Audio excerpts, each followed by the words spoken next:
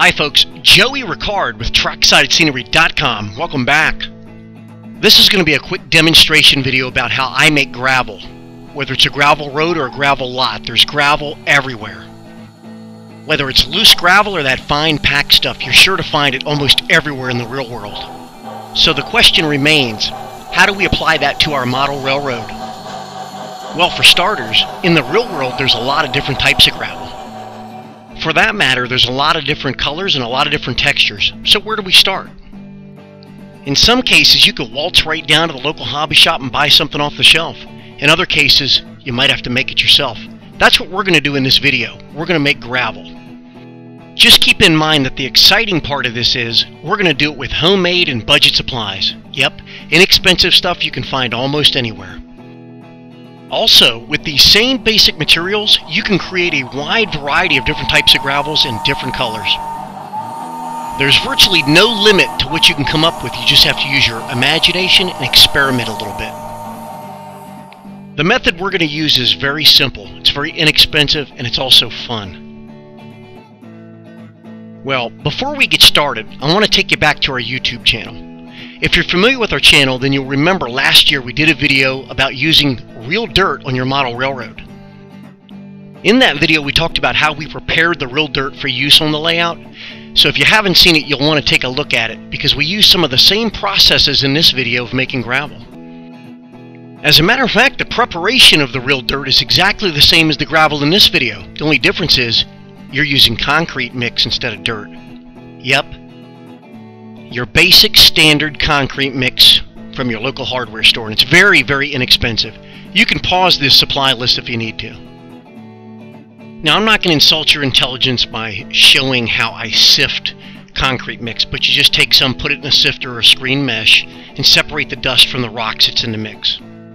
Of course, what you come up with is going to be dependent on the scale or the purpose that you're using the gravel for. If you're in a smaller scale, you'll want to grind it up in a blender, just like we did the dirt. And that's why I referred you back to the dirt video.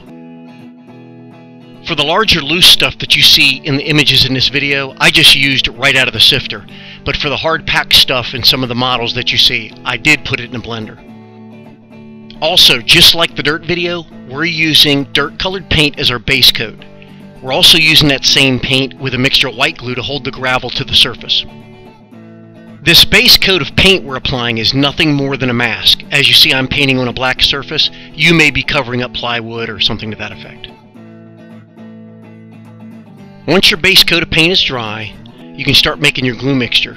And this video is from the dirt video, but it shows you that it's a half and half mixture of paint and white glue. Mix it up real good. Yeah, I told you this was going to be a quick video. It's the middle of summer and we're all busy, so I'm trying to get this done as quick as I can. As you see, I'm applying the glue mixture, that half and half glue mixture, and I'm applying it real heavy to the board over top of that base coat. Don't be shy. Once you have your area thoroughly covered, you can take your concrete dust, which we're going to call gravel from now on. You can take your gravel mixture and start sprinkling it on. Keep in mind that this is the first of two coats, and just try to cover it as completely as you can. Okay, now see this picture? How many people out there have wondered how I get this color of gravel? It's the same base material that you see me sprinkling on here. The only difference is I added in ground up blue and gray chalk to get the color I wanted. That's right, if you're familiar with our channel, you know I use chalks in a lot of the projects. It's very easy and I don't have a formula, but simply adding varying degrees of different colored chalks will change the color of the gravel. It also works for the fine stuff as well. Now this is what it looks like once the first coat of gravel has dried. You can see that there's some areas that didn't quite get enough coverage. That's okay because we're going to take care of that in the next coat.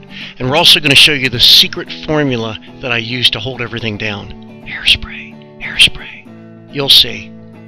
Now, if I were smart, and I'm not, I would go buy 10,000 cans of hairspray and put my own label on it and call it model glue.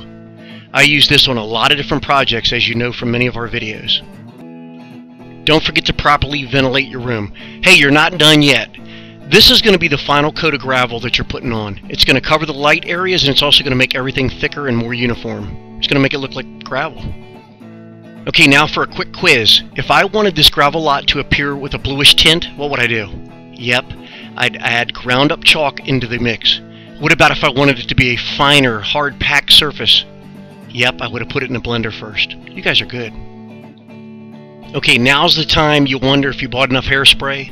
I think I used two to three cans on this project. Now you're going to think I'm crazy, but you really need to saturate it. And if you need help, there's the definition of saturate. Before we go any further, did I mention that you need to saturate this? Okay, as long as we're on the same page. I know it looks crazy, but when you put a lot of hairspray on there, it gives the gravel a chance to settle and pack itself, so it looks realistic for modeling.